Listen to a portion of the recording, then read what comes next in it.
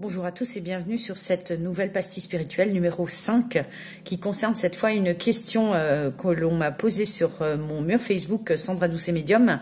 Cette question est celle de Fantaisie qui nous dit est-ce qu'un bébé non né peut communiquer et peut-il aider? La réponse est oui. Oui parce qu'en contact défunt et en guidance, j'ai eu très fréquemment euh, des âmes, parce que nous ne sommes rien d'autre que des âmes, incarnés, nous qui sommes vivants ici, ou non incarnés, désincarnés, d'accord, euh, de l'autre côté. Donc euh, ces âmes se sont déjà présentées à moi. Euh, alors, elles se manifestent des fois, non plus comme un bébé, mais comme un jeune homme, comme une jeune fille, voilà, une adolescente ou un enfant. Tout dépend depuis quand ils sont partis et comment ils ont envie de se présenter à nous pour qu'on sache que ce sont eux.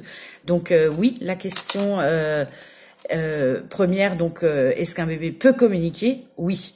Euh, il va parler euh, de ses parents. Des fois, il va expliquer pourquoi il n'a pas pu s'incarner. Euh, C'était très certainement pas le bon moment pour les parents, peut-être pas pour lui non plus, mais souvent ça concerne des problèmes qu'avaient les parents à ce moment-là. Euh, bien sûr, le, sujet pourrait être débattu bien plus longtemps que dans cette pastille, mais c'était pour répondre brièvement à la question. Et peut-il aider? Oui. Euh, très fréquemment, déjà rien que de savoir quand la maman apprend que bah, ce bébé se manifeste, déjà ça lui fait beaucoup de bien, alors qu'elle voulait peut-être juste un contact défunt avec euh, son père ou un proche euh, défunt, et de savoir que ce bébé se manifeste, souvent elles sont surprises. donc oui, ça peut aider, ça peut aider déjà à faire le deuil, ça peut aider à savoir qu'un enfant, même s'il n'est pas né, mais qu'il est parti en fausse couche, en IVG ou ou euh, voilà mort euh, mort né, euh, ces, ces bébés là, ces âmes là existent toujours, sont toujours encore de l'autre côté et font partie des, des, êtres chers qui nous attendront quand nous passerons de l'autre côté nous-mêmes. Donc ça aide les mamans à faire leur deuil, ça peut répondre justement en expliquant pourquoi ils sont partis. Alors pas toujours, mais des fois ils font un simple coucou pendant un contact défunt qui était pour quelqu'un d'autre. Mais oui, ils peuvent communiquer.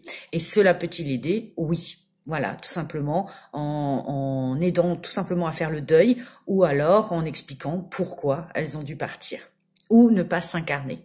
N'oublions pas et n'oublions jamais que nous ne sommes que des âmes, tout comme euh, nos défunts de l'autre côté. Nous disons nos défunts, mais en fait, euh, ils sont plus vivants que nous, j'ai envie de dire, parce qu'ils sont vivants pour toujours.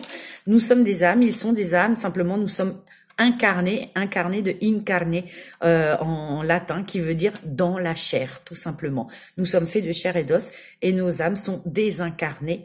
Euh, voilà, ont quitté cette, euh, cet habit de chair et d'os et sont de l'autre côté en tant qu'énergie. Mais ils peuvent se manifester à nous, effectivement, avec une apparence humaine, qu'on puisse les reconnaître. Alors, comme dit, petite précision, ces enfants souvent se, se présentent comme euh, par exemple, une petite fille qui aura l'air d'avoir 8 ans et quand on va demander à la maman, elle va dire oui, j'ai perdu un enfant il y a 8 ans. Voilà.